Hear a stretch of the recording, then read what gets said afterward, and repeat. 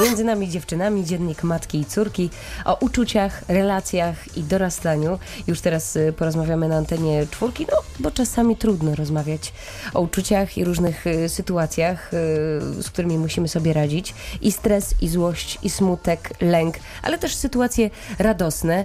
Często jest tak, że w relacjach matka-córka nie rozmawiamy o tym, co się dzieje w naszych głowach. Z nami Monika Mrozowska, aktorka, e, mama, a także Kaja Romanowicz, y, psycholog. Dzień dobry. Dzień, Dzień dobry. Zacznijmy może od tego, że dzisiaj obchodzimy Dzień Przyjaciela. Zastanawiam się, czy taka relacja przyjacielska na linii e, mama-córka to to jest dobry pomysł, żeby mama była przyjacielem.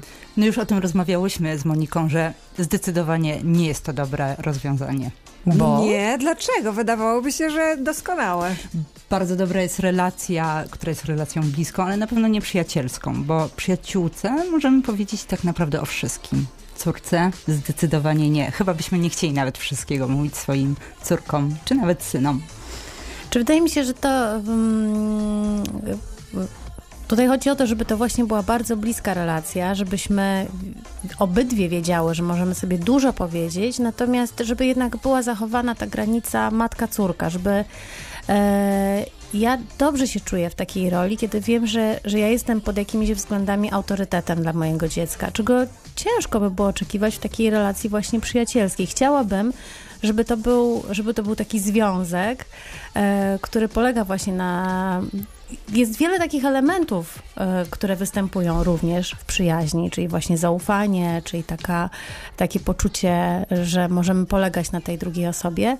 Ale jednak chciałabym, żeby Karolina nie zapominała, bo głównie jednak tutaj będziemy rozmawiać o tych najstarszych dzieciach, e, żeby Karolina nie zapominała, że ja jestem jej mamą i że są pewne takie sytuacje, kiedy, kiedy to do mnie należy to ostatnie słowo.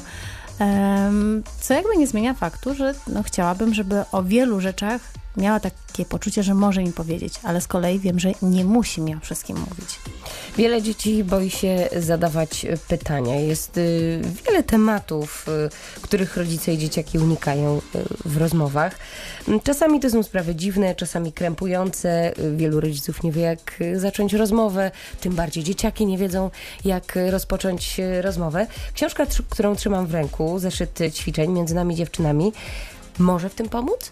Może, oczywiście to nie jest rozwiązanie wszystkich naszych problemów i nie znajdziemy tam odpowiedzi na wszystkie pytania, natomiast jest to taki elementarz e, uczuć, elementarz e, pracy e, w takiej relacji. Uczy to nas e, kontaktować się z własnymi doświadczeniami, z własnymi przeżyciami, no i pomaga się spotkać wokół jakiegoś ćwiczenia. To tak jak często teraz gry różne są e, modne, gry, które są grami planszo, planszowymi e, i myślę sobie, że z tego podręcznika można skorzystać w podobny sposób, e, czyli spotkać się, tak jak się spotykamy, mam nadzieję, z naszymi rodzinami. Ja mam sama trójkę dzieci, dwójkę nastolatków, więc gramy w gry planszowe i na przykład ten elementarz może posłużyć jako takie karty pracy do takich e, gier. Czy to jest na pewno doskonała mm, e, możliwość dla tych rodziców, dla tych mam, które nie bardzo mają pomysł na to, jak taką rozmowę z dorastającą córką zacząć. Aczkolwiek ja jestem zwolenniczką takiej teorii, że te, tę rozmowę to trzeba zacząć nie wtedy, kiedy córka dorasta, tylko po prostu rozmawiać z nią od małego. Ale na pewno jest to jakaś podpowiedź, żeby wygospodarować w ciągu dnia kilkanaście minut, czasami godzinę e, i bez takiego nerwowego szukania jakiegoś tematu do rozmowy, żeby po prostu wspólnie zrobić jakieś zadanie. Tym bardziej, że jest to o tyle ciekawie pomyślane, że te ćwiczenia są nie tylko dla córek. To nie jest tak, że siada mama i ona tą córkę przepytuje e, i dowiaduje się jakichś różnych tajemniczych rzeczy z jej życia, tylko te ćwiczenia również musi wykonać mama, więc to jest też ciekawa taka sytuacja dla córki, bo ona również różnych nowych rzeczy może dowiedzieć się na temat tej swojej bliskiej osoby. Rozmawiamy o zeszycie ćwiczeń dla mamy i dla córki, między nami dziewczynami. E, Książka zaczyna się od treningu uważności, bo rzeczywiście w dzisiejszym świecie jest tak, że cały czas pędzimy z pracy na jakieś zajęcia, dzieciaki też z jednych zajęć na drugie, bo jest jakaś taka odgórna presja. No i wiele rzeczy nam umyka, a ten trening uważności pozwala nam się na chwilę zatrzymać. Robiłyście to ćwiczenie ze swoimi córami?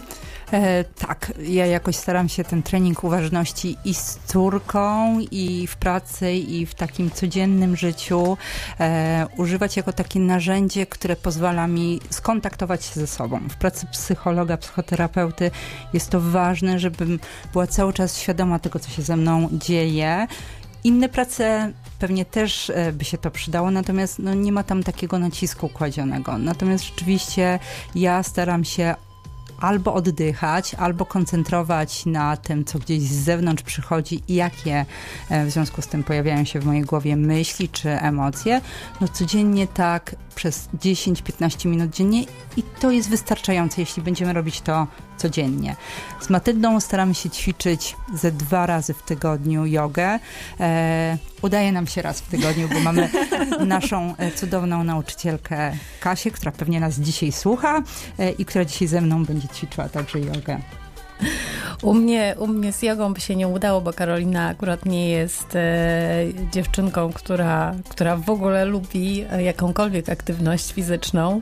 E, no ale jakby uważam, że to też jest, to jest jej wybór, więc niczego jej tutaj nie, nie narzucam. Natomiast jeżeli chodzi o ten trening uważności, e, to ja w ogóle przyglądając tę książkę miałam takie trochę poczucie, że gdzieś tam intuicyjnie dużo z tych rzeczy do tej pory robiłam. One nie były właśnie, tak jak mówiłam wcześniej, nie były tak usystematyzowane, bo tutaj fajnie można sobie jakby znaleźć też wytłumaczenie dla tych różnych rzeczy, które, które do tej pory robiłam.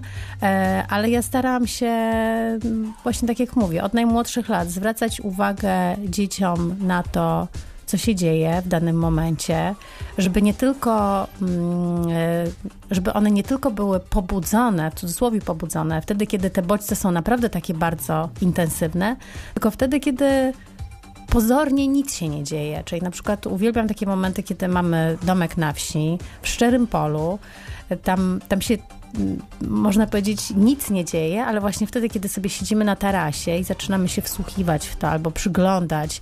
E, niby taka prosta rzecz, ale leżenie na tarasie, oglądanie chmur, coś, co pewnie wiele osób robi, ale się może nie zastanawia nad tym, e, że to w sumie ma naprawdę bardzo korzystny wpływ i na nasze samopoczucie i właśnie na takie skupienie się na tym konkretnym momencie, czyli wymyślanie sobie, co nam przypominają chmury, jak się zmieniają, co w tej chwili widzimy na tym niebie, a co może z tej chmury, e, jak ona się może przekształcić za kolejnych 5 czy 10 minut. E, słuchanie tego, tych odgłosów, które dochodzą gdzieś, gdzieś z lasu, albo nawet z moim najmłodszym synem odnośnie na przykład właśnie tego oddychania. Ja widzę, jak to niesamowicie działa, nawet e, ja wiem, że mówimy dzisiaj o dziewczynach, to jest mały trzyletni chłopiec, ale jak na niego niesamowicie wpływa właśnie takie świadome oddychanie, kiedy zaczyna się denerwować, a ja mówię, Juzio, uspokój się, teraz poddychamy, wdech i wydech. I mija dosłownie kilka minut, dwie, trzy minuty i, i taki mały urwis zmienia się po prostu nie do poznania. W spokojnego, spokojnego chłopca to może za dużo powiedziane, ale widzę, że widzę, że mu to pomaga. Co to znaczy odetchnąć, bo to także ważna część w książce między nami dziewczynami. Dziennik mamy i córki, uczucia, relacje i dorastanie. I o tych relacjach między matką a córką, między dzieciakami a rodzicami, o tym w jaki sposób budować y, tę relację. Rozmawiamy dzisiaj w Dniu Kobiet na antenie czwórki. Odetchnąć. Padło hasło, w jaki sposób odetchnąć y, ze swoją córką. No to też tak jak Monika wspominała, odetchnąć, czyli też tak nawet się chwilę ponudzić wspólnie, czyli usiąść, położyć się, porozmawiać o tym, co przychodzi w danym momencie do głowy, ale też, nie wiem, wspólnie pogotować e, albo porobić jakieś rzeczy bez planów. Ale też czasami dobrze jest zaplanować to, żebyśmy oddychali, bo jeżeli tego nie zaplanujemy, to niestety mamy tendencję do tego, do tego żebyśmy włączali różną elektronikę i wtedy na pewno nie oddychamy. W książce pojawiają się e, ćwiczenia, oddechowe ćwiczenia. Na przykład przez 5 minut oddychamy i skupiamy się na oddychaniu e, ja i córka. To jest bardzo trudne, ale jest to do zrobienia. Może na przykład temu pomóc wyobrażanie sobie, że wdychając jest to jakiś kolor i wydychając jest to całkowicie inny kolor i nazywamy te kolory. Tak? Czyli najczęściej wdech kojarzy nam się z jakimś ciepłem, z czymś, co daje nam poczucie energii, a wydech z rozluźnieniem, czyli na przykład z kolorem zielonym. Mnie się tak kojarzy i większości osób. W książce jest e, szereg różnych e, zadań, między innymi e, są takie pytania o pierwsze wspomnienia. E, ty, Monika, robiłaś takie ćwiczenie ze swoją córą. E, Robiłam, bo wydawało mi się, że to jest takie, że to jest takie ćwiczenie, które właściwie możemy zrobić w każdych okolicznościach, bo tutaj e, nawet w momencie, kiedy jedziemy samochodem, nudzimy się, a wiadomo, że te wycieczki z dziećmi ciągną się w nieskończoność i zanim wyjedziemy z domu, to one się już pytają, kiedy dojedziemy na miejsce. E, I to było takie ćwiczenie, które robiłam nie tylko z moją najstarszą córką, ale również z siedmioletnią Jagodą.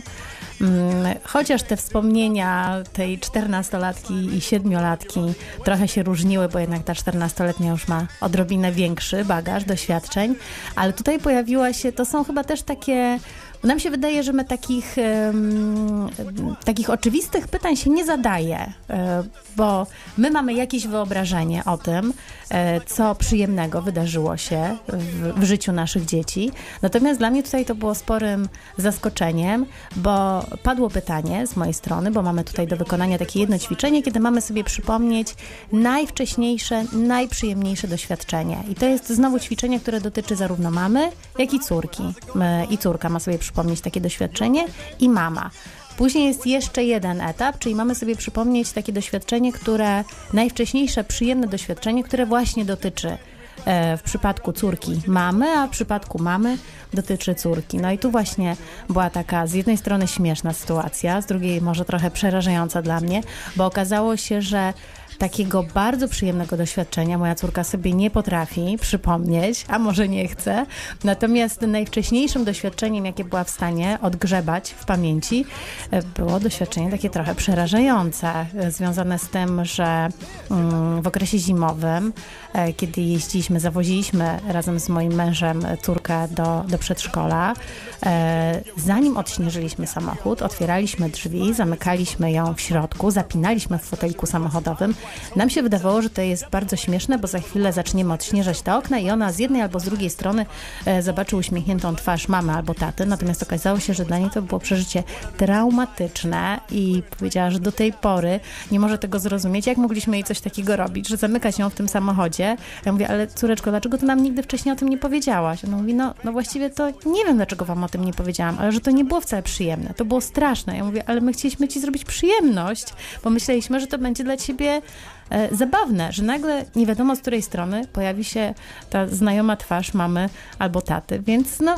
przy okazji nawet takich e, bardzo prostych ćwiczeń możemy się tutaj wielu ciekawych rzeczy dowiedzieć o naszych dzieciach.